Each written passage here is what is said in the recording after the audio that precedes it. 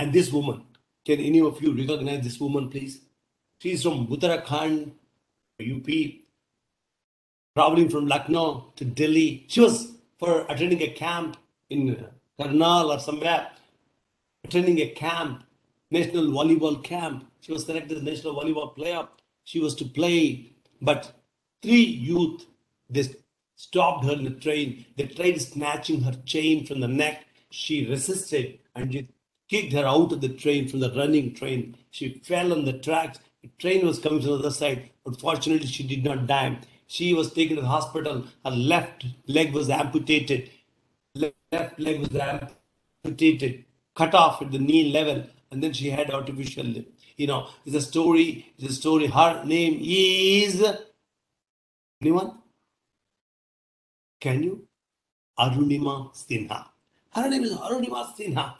Let me show you a video of hers. You know, she went on to become the first amputee to conquer, woman, am, woman amputee to conquer the Mount Everest.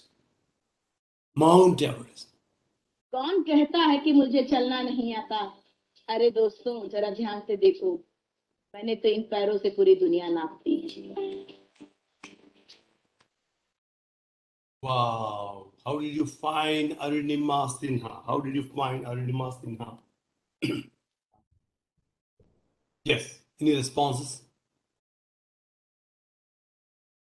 How did you find the story of Arunima and what did she say? What did she say? दिमाग से निकाल दिया करानी हो बात दिमाग से निकाल that thought has been removed deleted from my mind right? Any other key messages that you got from Arunima's story, Arunima's, now Arunima Sinha's video that you observed? What did you get? Sima ma'am says never give up. She didn't give up. It was a difficult time, very, very sad incident. Thrown on the track, lost her leg, leg was cut off, an artificial leg, and she didn't give up. She didn't give up. She took it as a challenge. A challenge, Lilia. Tough.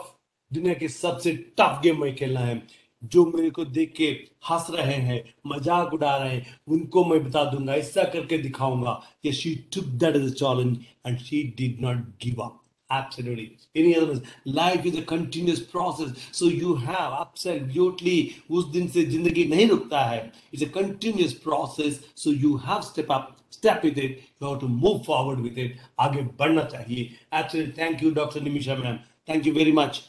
See my members. believe in yourself and God. Yes. Have faith in yourself and God.